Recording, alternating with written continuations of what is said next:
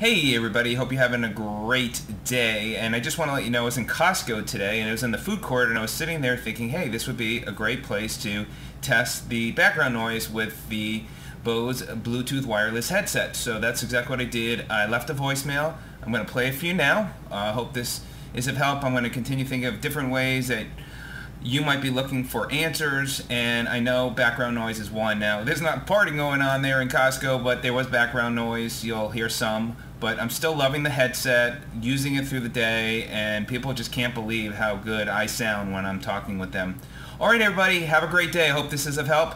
We'll see you on the next video. I am doing a test of the Bose Bluetooth Sport wireless Bluetooth headset. I'm sitting in the food court at Costco and wanted you to hear what noise is picking up in the background of people. This is a test, and I hope this is of help.